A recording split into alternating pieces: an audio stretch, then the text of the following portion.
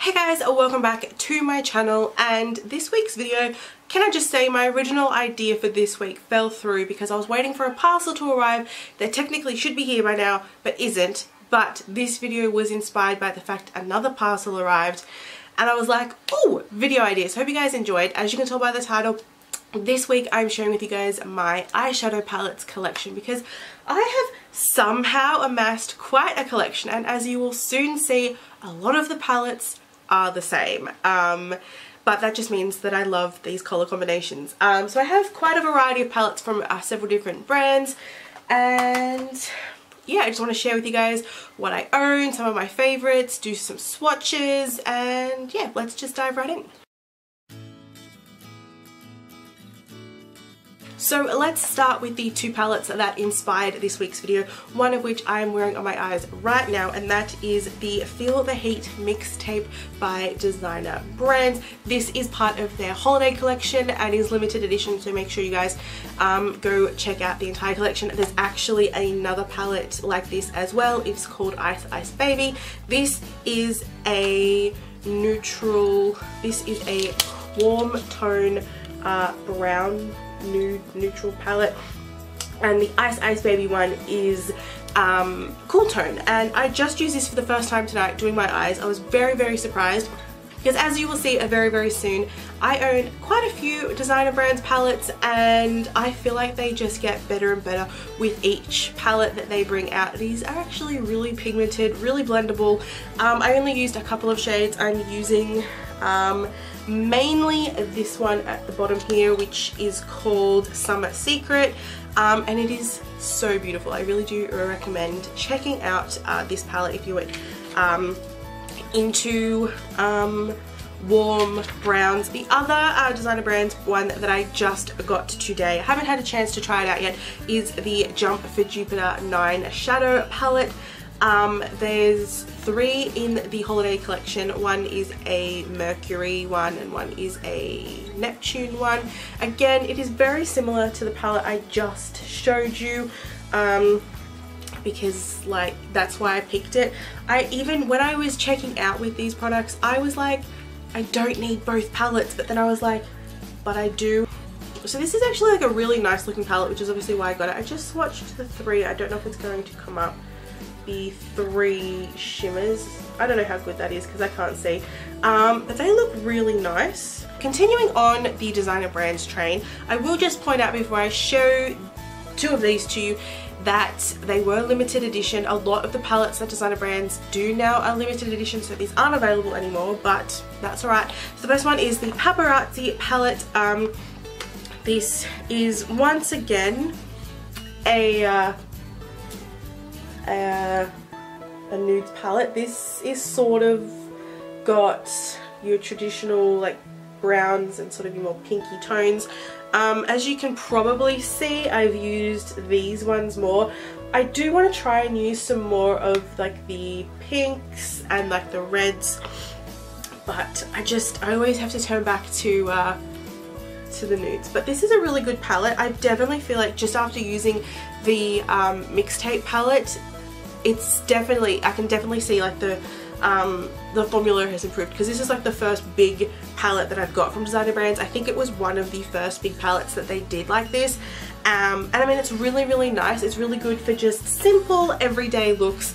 Um, but I definitely feel like the newer palette is pig more pigmented than this. Uh, but yeah, this is just a nice palette. Then I have the Day to Night palette. This was in collaboration with Sophie Catcher. I think that's how you say her name. Um, this only just finished being finished being in stock.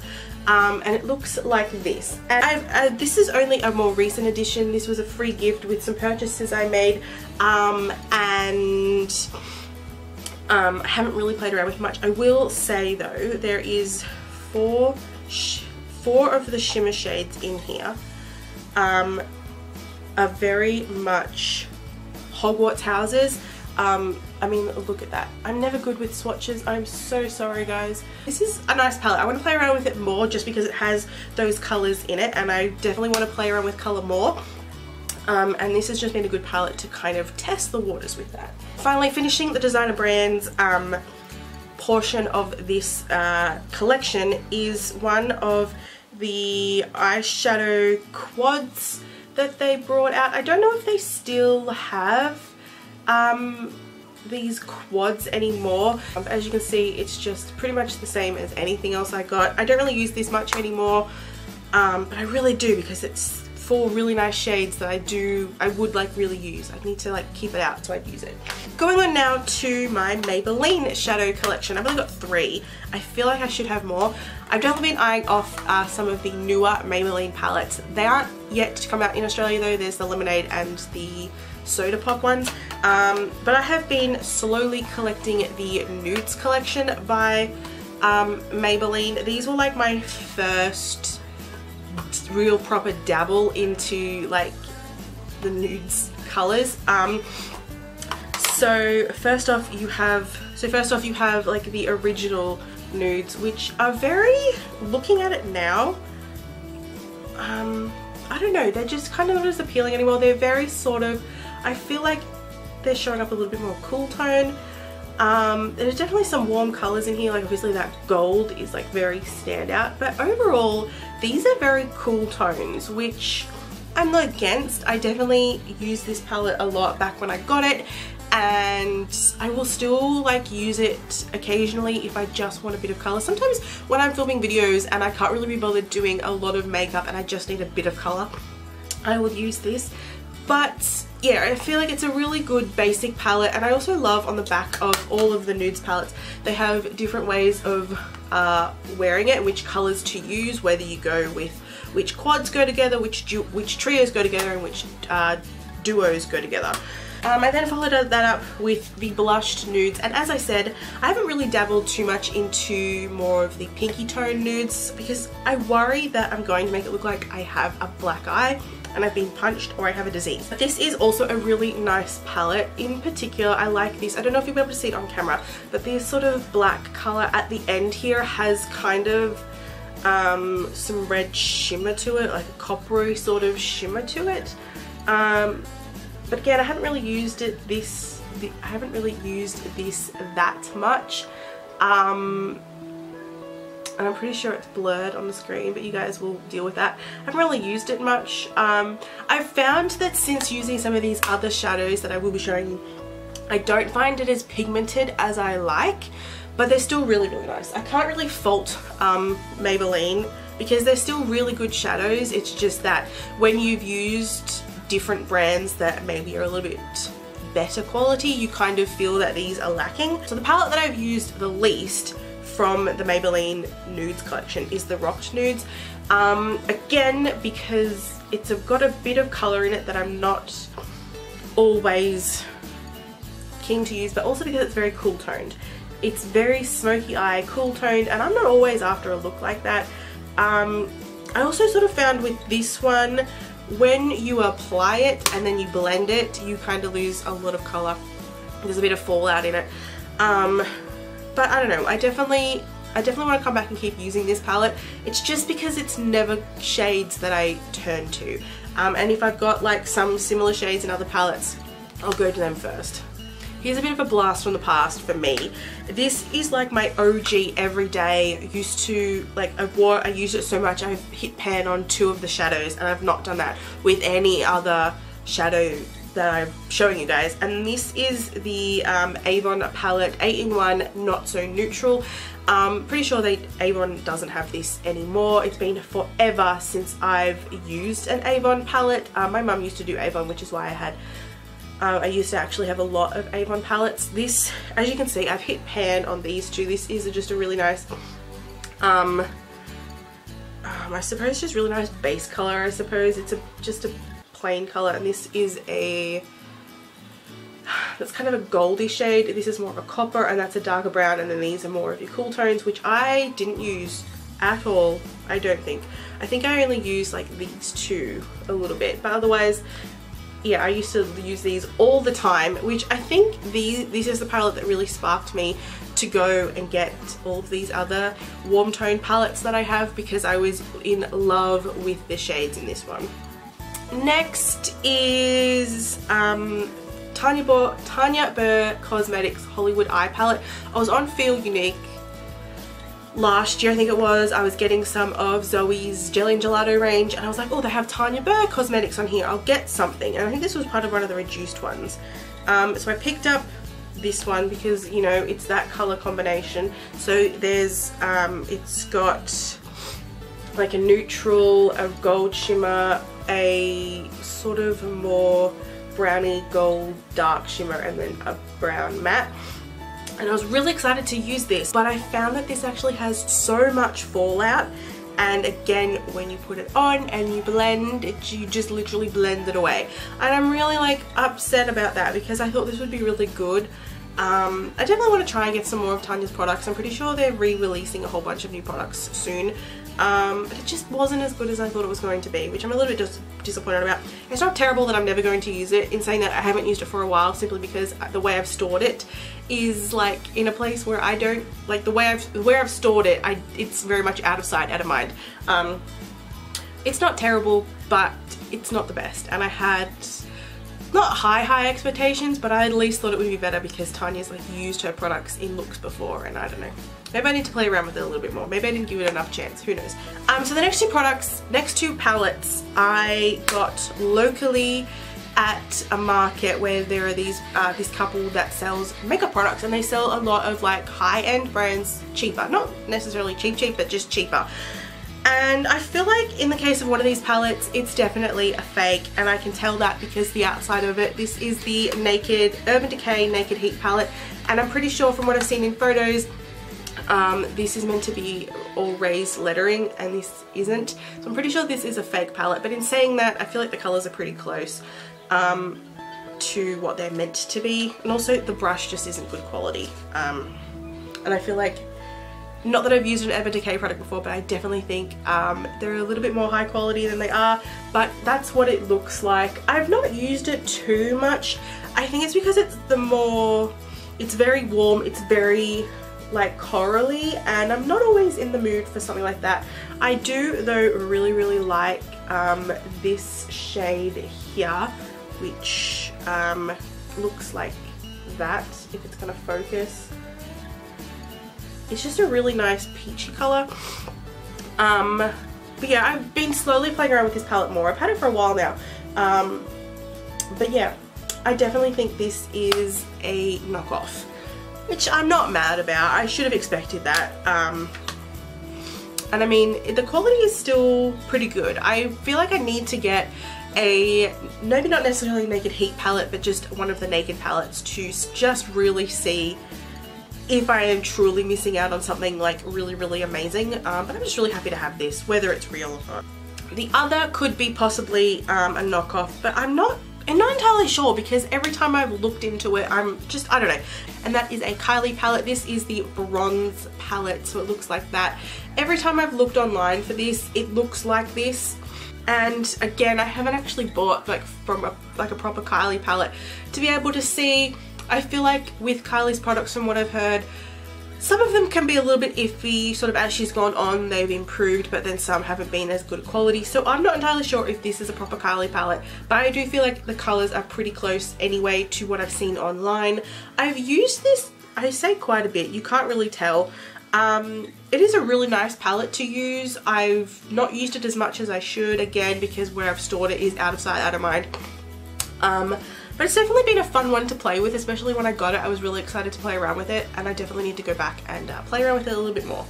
But yeah, whether this is real or not, I don't really care. I feel like it's probably real, but I'm not entirely sure. The next palette is like, I think, the first major palette that I ever bought.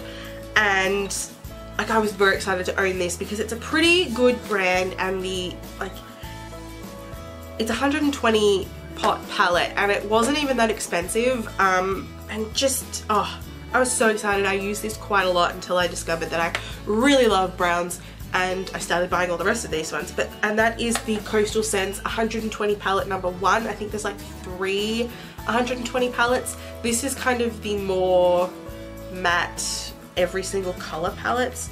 Um, so hopefully I can hold this up without literally dropping them.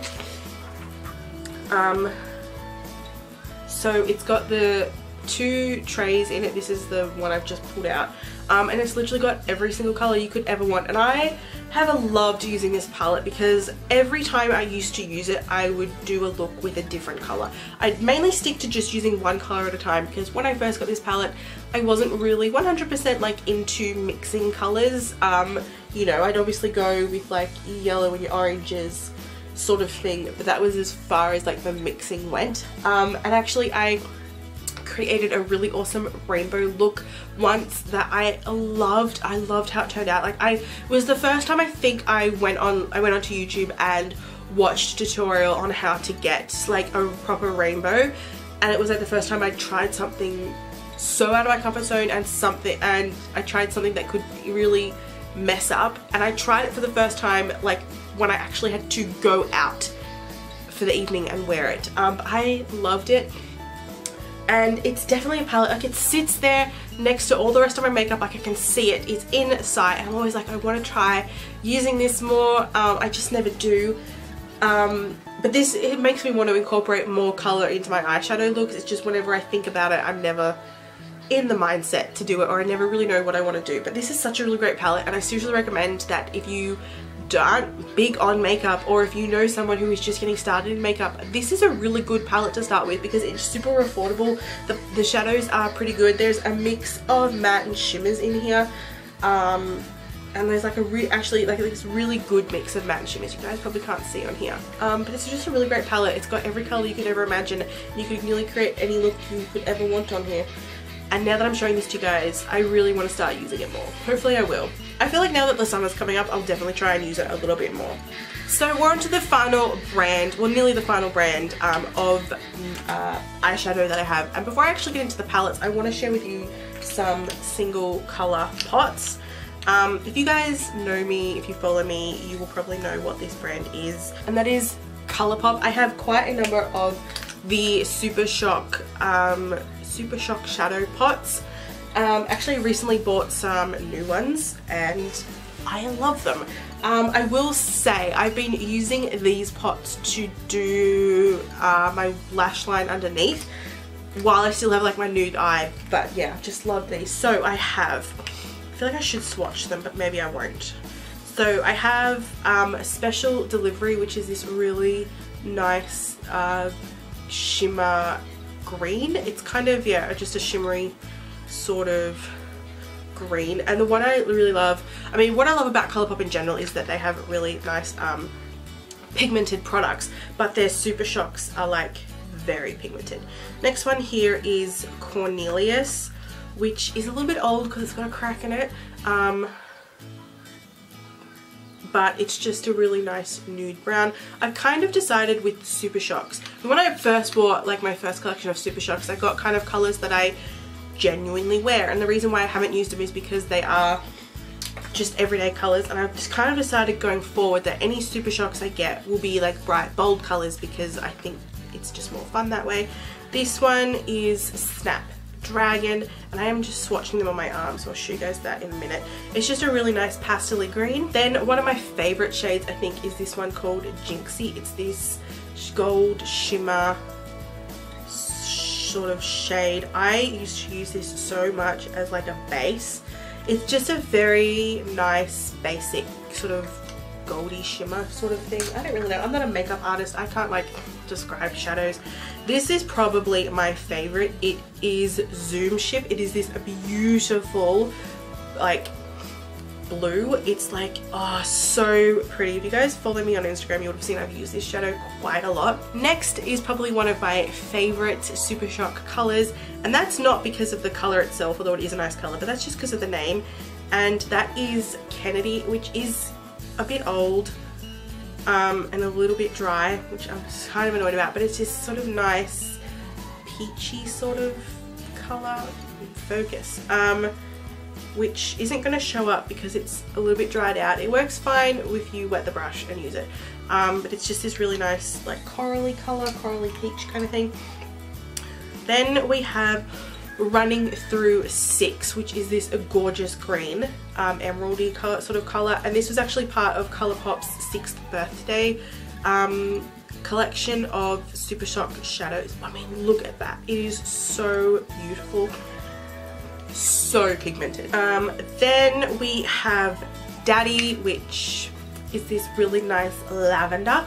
Um, as you can see, like uh, like most of my Super Shocks, especially the newer ones, are uh, more colourful because, as I say, much rather just have like a single pot of really bright colour. This next one is called Crimper and it's this really nice gold. It's a shimmer shade, but it's got like sort of chunks of glitter in it. I don't know if you guys are going to be able to see it. Then we have 8 track, which is this really dark shimmer shade. Um, this one is, the formula on this one is ridiculous. It's like really creamy. Um, but it's kind of like a, like a brassy color I might, I would say. And I've just realised most of this is out of focus, but I mean, you ain't coming to this channel for a beauty guru. Then the last one is Bandit. Um, and it is this really nice chocolate colour. Which, oh, it is literally like. So like working backwards, you can sort of see like what all of the shades look like. That one there is that Kennedy shade, which as I said, is a little bit dried up. Um, but I really love this blue and even this green color is really nice. And then, yeah, they're just all so pretty. Finally, onto my actual Colourpop palettes. Um, as I said, I love Colourpop. I want to get every single palette they've ever released. They are so beautiful. They are really pigmented. They blend so beautifully. They're just, oh, I love the formula. So the first palette is the Yes Please palette, which was the first ever Colourpop palette I ever got. And I love it so much. It's this beautiful, um, very warm, very summery palette in particular. As you, I don't know if you can tell, but this is a gold that is gorgeous. Um, I mainly love like pairing these two colors here, this brown and this gold together, mixing in like a little bit of these two. I've recently started incorporating this, uh, this, what would you call that? Um, ready orangey color in and I really want to start playing with that yellow. Um, the yellow is so beautiful and so pigmented Plus these colors up here are really nice. Just this whole palette is just gorgeous and I love it so much. Then kind of similar to that one but a little bit more on less on like the really bright red and yellow but still warm tone is the double entendre palette um, which I've kind of now turned to more I was using the yes please palette so much but when I acquired this one I kind of turned to it more just because it hasn't got the really red undertones it's yeah, it's a warm palette. It's not as warm, but it's not cold either. Um, again, I really love just using this brown with this really, really dark, um, dark brown here to smoke it out. Um, and also this shimmer and this shimmer here are both really, really pretty. Um, but yeah, not much more I can say about that one. It's just really, really beautiful. Then I started, I've started to go a little bit more out there with the palettes I've picked up. I next got the My Little Pony palette. I wasn't going to get this one, but it was on clearance. I don't think they have any of the My Little Pony range left, and I was like, I have to get it. I mean, I'm not like the biggest My Little Pony geek, but it's just a really fun palette anyway. Um, and it looks like this. Um, so it, obviously it's a bit more like wacky and out there and creative. I haven't really used it too much. I really do love these two shades here. This one, yes, this one is a holographic shade and I didn't realize that until I wore it one time and I like put it like on the corner and sort of just like in the crease a little bit. I think I've just rubbed color on my eye, sort of like in this part here, thinking it was just a really nice um, bright pop, but it was holographic and actually looked really good. I definitely think if you pair that over a dark shade, it'll look really good. This bluey, greeny, tealy color is also really nice that I've played around with. Other than that, I haven't really used this palette too much. Again, just because the colors are a little bit out there. And I mean, you can create like a complete look with this palette. I've seen people do it, but I'm just not at that point at the moment. Um, but it is just a really nice palette. I'm glad I have it.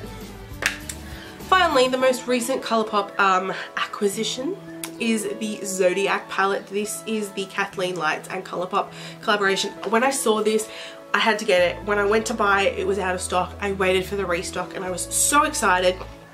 Um, actually, the whole uh, Zodiac collection looks really, really good, but I've just had to get the, um, the, the eyeshadow one. And what I firstly love is there's a mirror in this palette, but that's what it looks like. Again, it's, a, you know, it's very colourful, but it's a little bit more, I don't know, they all go together. I love that the Virgo one is this brown. I'm a Virgo, and that's like my favorite brown, really dark brown that they've released. I also,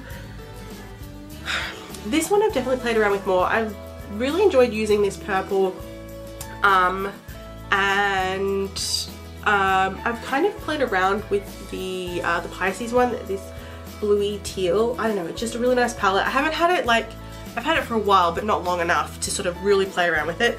Um, I'm still sticking to my comfort zones of like the browns but it's a really fun palette and I'm excited to keep using it and to play around and to incorporate those colours a little bit more. So that is my eyeshadow palette collection. I hope you guys enjoyed. If there is any um, any colors in any of these palettes that you guys actually want to see swatches of, let me know because I might do some swatches and post them over on my Instagram um, or on Twitter or something like that. Just let me know if there's something you do want to swatch or your, if you want to know my thoughts on any of the palettes. I've used most of them. Um, obviously, as I said, there were some that I haven't used quite enough to really get an opinion on.